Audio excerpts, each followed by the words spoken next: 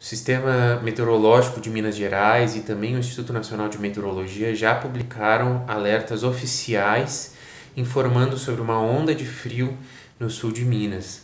Para a região de Andradas, as temperaturas mínimas poderão ficar na casa do zero graus Celsius nas madrugadas dos dias 18 e 19.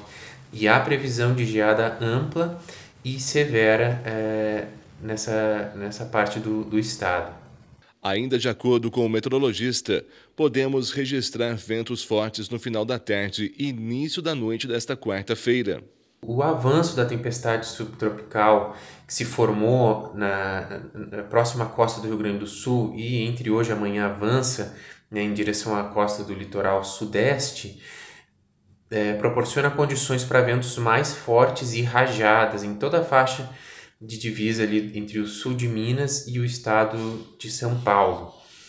Esses ventos podem ficar em velocidades sustentadas em torno de 35 a 40 km por hora e rajadas da ordem de 60 a 70 km por hora poderão ser observadas, o que exige atenção, pois podem provocar danos como quebras de, de galhos e até mesmo de estelhamento, especialmente em algumas estruturas mais fragilizadas e precárias.